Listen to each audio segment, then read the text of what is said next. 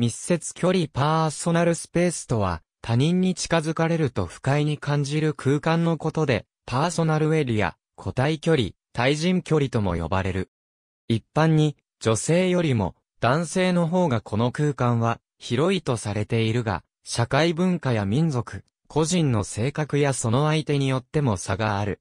これは、プロクセミックスの分野である。一般に、親密な相手ほど、パーソナルスペースは狭く、逆に敵視している相手に対しては広い。相手によっては距離に関わらず視認できるだけで不快に感じるケースもある。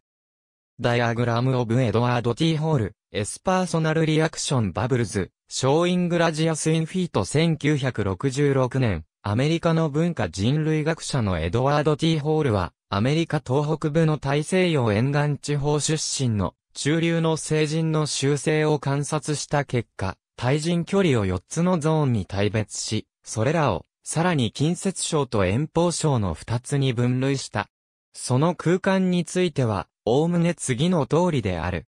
2種では、対人距離を次のように分類している。ありがとうございます。